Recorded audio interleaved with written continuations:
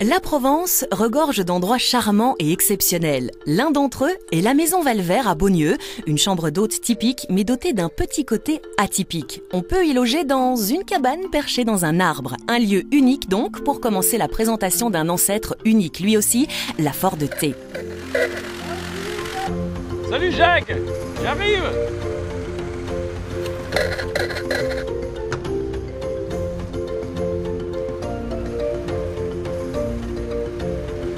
copain Comment vas-tu? Ah. On est parti. C'est parti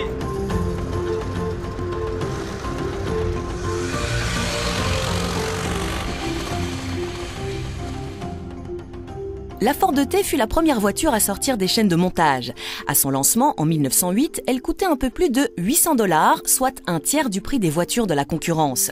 Et dans les années 20, ce prix fut encore réduit à 300 dollars grâce au processus de production toujours plus efficace. On peut dire que Henry Ford a appris aux Américains à rouler en voiture et devint lui-même aussi meilleur grâce à son système révolutionnaire de production à la chaîne.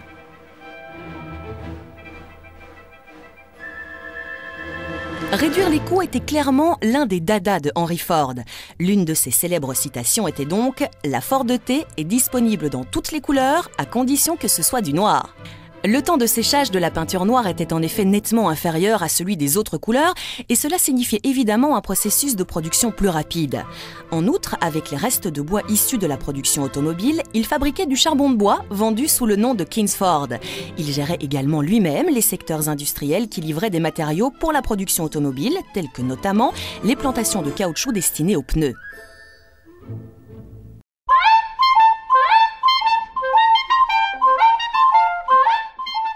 Les voitures produites étaient super solides, mais entre-temps, la voiture a déjà soufflé plus de 100 bougies et à cet âge-là, il y a toujours l'une ou l'autre chose qui peut dérailler.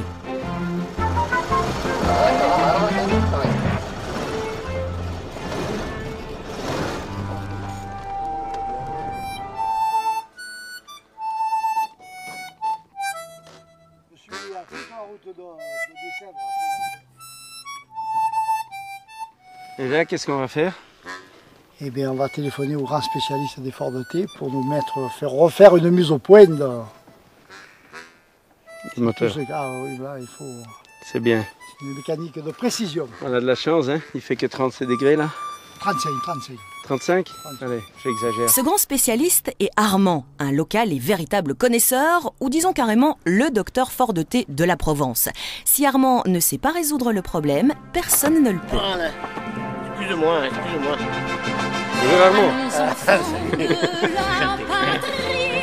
Problème Ouais. Eh bien, elle a fait comme tout à l'heure. euh, elle oublie. Eh, le chauffe. Tu, tu- tu as ton plein d'eau est bien fait Oui, Ouais. il y en a encore, il y a que ça. Il fait chaud. À mon avis, c'est un problème d'essence qui vaporise ça. Essaye de la mettre en route. là, je C'est la suis sûr. chaleur qui fait ça. Ouais, ouais, ouais, ouais, ouais.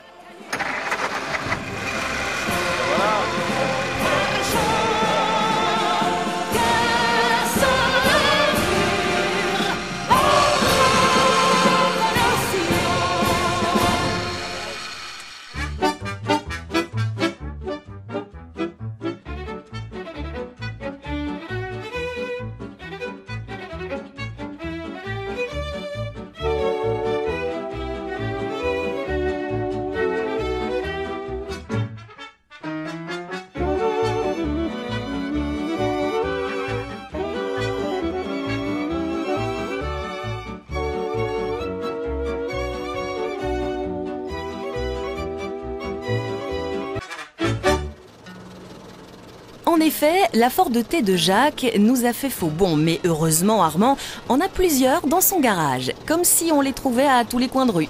Nous pouvons finalement rouler. Bon, rouler. La T a deux vitesses pour avancer et une vitesse pour la marche arrière. Jusque-là, pas de problème.